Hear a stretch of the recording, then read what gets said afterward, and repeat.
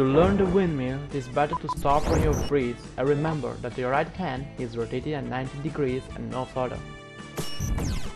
Put your head on the ground slightly turned on the left, not the cheek, otherwise you risk to injure yourself when spinning. The right arm pushes the body down and bring your hand to your chest. At the same time, turn to the left, falling on your back.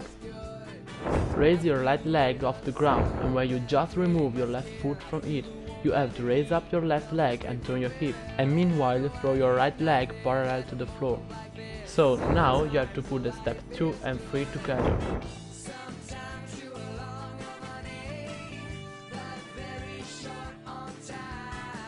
Do not close nor bend your legs. Do not put your cheek on the ground. Remove your hand from the floor while you are throwing your legs.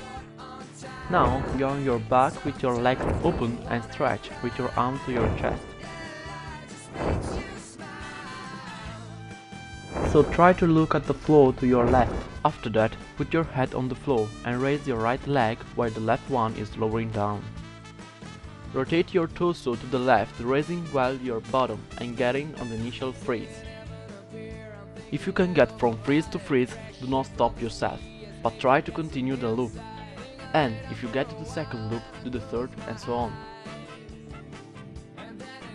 When you learn the windmill and achieve an excellent control, you can do it in slow motion without using any computer. Holy fart truck! Hey dude, this is supposed to be slow motion!